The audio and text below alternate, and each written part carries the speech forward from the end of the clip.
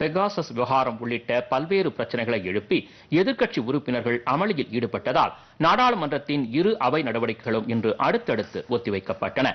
மக்களவை இன்று காலை கூடியதும் நேற்று நடந்த சம்பவங்கள் குறித்து எதிர்க்கட்சி உறுப்பினர்களுக்கு ஆளும் கட்சி உறுப்பினர்கள் கண்டனம் தெரிவித்தனர். எதிர்க்கட்சி உறுப்பினர்கள் நேற்று காகிதத்தை கிழித்து எறிந்தது தொடர்பாக ஆளும் கட்சி உறுப்பினர்கள் அதிருப்தி தெரிவித்தனர். இதனையடுத்து எதிர்க்கட்சி உறுப்பினர்களும் அமளியில் ஈடுபட்டதால் கூச்சல் குழப்பம் நிலவியது. அதைத் தொடர்ந்து மக்களவை பகல் பதினொன்று முப்பது வரை ஒத்திவைக்கப்படுவதாக அறிவிக்கப்பட்டது. அவை மீண்டும் கூடிய போதும் கூச்சல் குழப்பம் நீடிக்கவே பகல் இரண்டு மணி வரை ஒத்திவைக்கப்படுவதாக அவைத் தலைவர் ஓம் பிர்லா அறிவித்தார்.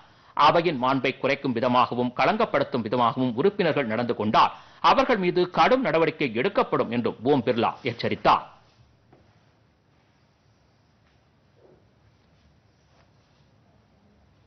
பின்னர் அவை பிற்பகலில் கூடிய போதும் அமளி நீடித்ததால் நாளை காலை பதினோரு மணி வரை அவை ஒத்திவைக்கப்பட்டது.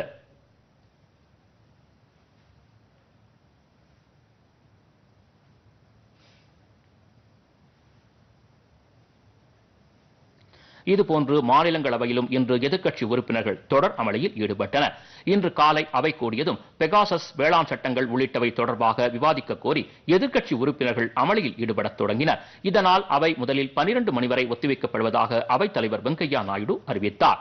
அவை மீண்டும் கூடிய போதும் தொடர்ந்து அமளி நீடித்ததால் பிற்பகல் இரண்டு மணி வரை அவை நடவடிக்கைகள் ஒத்திவைக்கப்பட்டன. மீண்டும் அமளி நீடித்ததால் நாள் முழுக்க அவை ஒத்திவைக்கப்பட்டது.